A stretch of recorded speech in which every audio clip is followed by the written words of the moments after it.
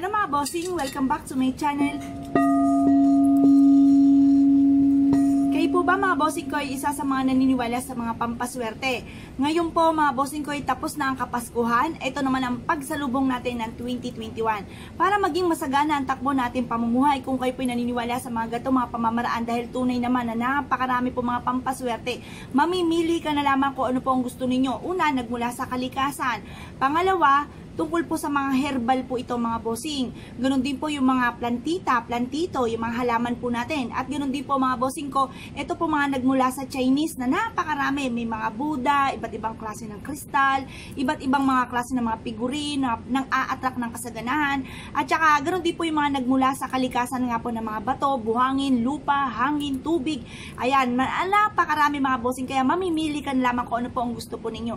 Ngayon po mga bossing ko ay konting-konting kembo abot na lamang ay iyan na ang 2021. Kaya maina may salubungin po natin ito ng kasaganahan. Minsan natin ng mga pagkarir, ng mga pagsalubong natin ng pampaswerte niya ng 2021 para maging masagana ating pong pamumuhay ay tatahakin natin to ng buong taon. Kaya kumbaga, minsan natin paghandaan po ito, karirin po natin ito, December 26 hanggang 30, karirin po natin yan.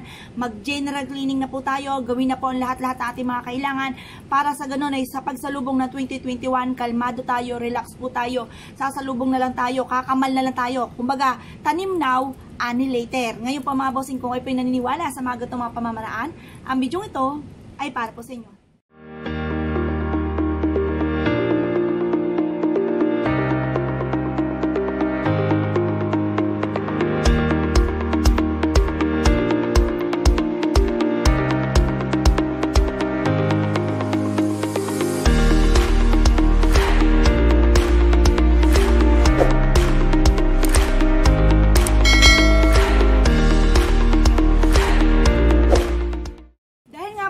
Ko ay konting combining kembot na lamang. Ay yan na ang 2021 kung kaya't maina may subukan nyo po itong gawin.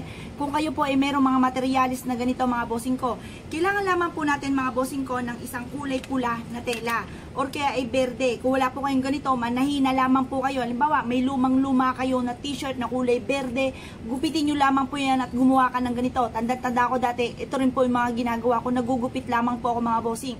Dahil nga wala akong pambili. Kahit mga ganito wala akong pambili dati mga bossing ko. Unahin ko pa po ito, eh, makain nga po wala. Edi syempre yun na lamang, didiskartehan ko na lang, gugupit ako ng tela. Kaya pumili po kayo kung meron kayong telang berde, for money, or kaya ay dilaw, or kaya ay gold, or kaya po ay red. Yan po ay swerte.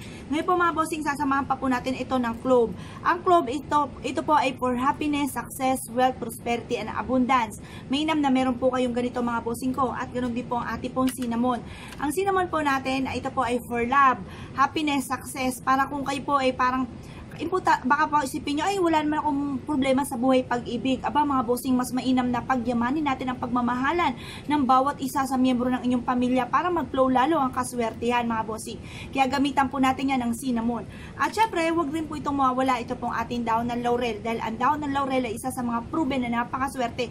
Pangkalahatan po ito mga bossing ko. Ngayon din po mga bossing, kailangan din po natin ang ating rosemary. Ang rosemary ay isa rin po yan sa mabisang protection and for success para magtagumpay po tayo sa 2021. Ngayon po mga bossing, ayan, yun po yung mga sangkap natin. Medyo madami lamang pero ito po yung perfectong sangkap upang mabilis natin ma-achieve ang mga pangarap po natin. Ngayon po mga bossing, maglagay ka lamang po ng pitong piraso na ating clove.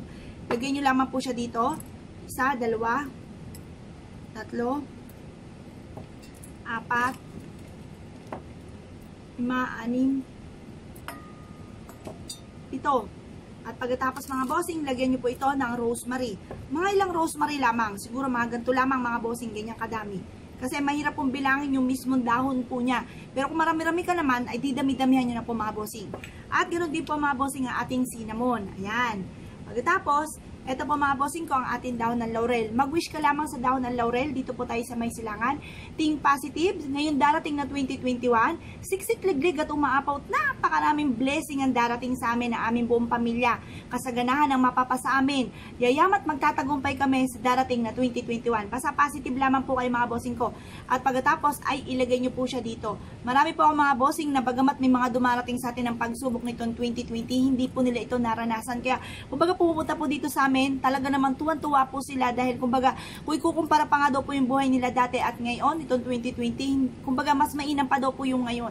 Kumbaga, kasi sila po ay, alam niyo po ba mga bossing, once na ikaw ay mahilig sa mga pampaswerte, lumalakas po yung loob po natin, nagkakaroon tayo ng kumpiyansa sa ating sarili na, na tayo po yayaman, nagkakaroon tayo ng tiwala sa ating sarili at lagi natin nasasabi na ako ay hindi nga habang buhay ay ganito, yayaman ako soon. Kumbaga, alam mo sa inyong kalooban na hindi ka laging ganyan kasi ang dami-dami mga pampaswerte, nagkakaroon ka ng positibong pananaw sa buhay. Kaya mas mainam, meron po tayong ganito, lalo-lalo na ngayon darating nga po na 2021 para welcome kasaganahan po tayo. Ngayon po mga bossing, ilagay nyo lamang po ito sa inyo pong ah, main door. Ngayong 26, kung gusto niyo po ngayong araw na ito at kung ikaw naman ay may perfectong sangkap na ganito. Ito po kasi eh, mga bago na ang ating po mga gamit po ngayon. Kumbaga, fresh na fresh po yan sa pagsalubong na 2021 kasi kon- konting kembot na lamang ay 2021 na. Tapos yung mga luma yung ginawa nitong 2020, yan po sunugin nyo na yung pwedeng sunugin or kayong pwede ibaon nyo sa lupa sa may silangan or itapon nyo po sa may lababo po ninyo. Tapos unti-unting gumawa ko yun ng mga bagong pampaswerte para sa 31 magluluto na lamang po kayo at hindi po kayo hagardo sa pagluluto, hindi kayo pagod. Kasi kapag inabot po kayo ng pagod, isang taon na naman pagod, isang taon na naman nape-pressure sa mga nagaganap. Kaya kailangan ngayon pa lamang ay simulan na po natin ang paggawa ng mga pampaswerte. Yun lang po guys, salamat po sa panonood and don't forget to subscribe my channel. Salamat mga bossing, good luck po sa inyo lahat. Salamat po.